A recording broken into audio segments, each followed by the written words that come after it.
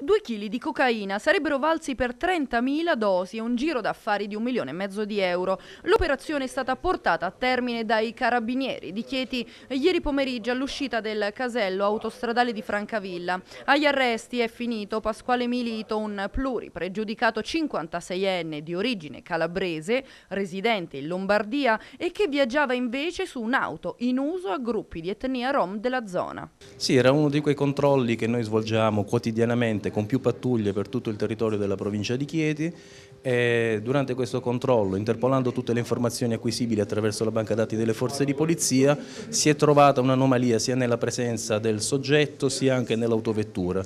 Una delicata quanto tempestiva operazione di informazioni incrociate che ha fatto subito sospettare che quell'uomo avesse un ruolo nella criminalità, precedenti penali e di mafia. Pregiudicato con reati anche di eh, associazione a delinquere di tipo mafioso, nonché di stupefacenti.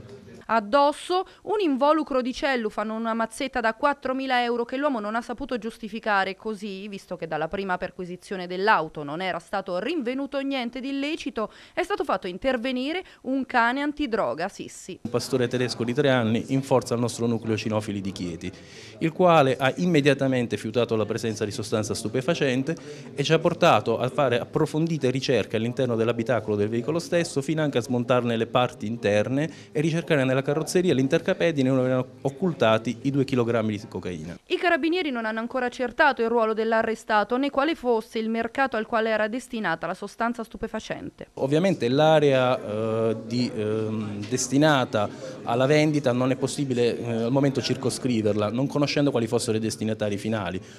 È anche una zona di transito questa, quindi non è detto che fosse destinata al mercato locale, presumibilmente comunque all'area metropolitana Pescara-Chieti.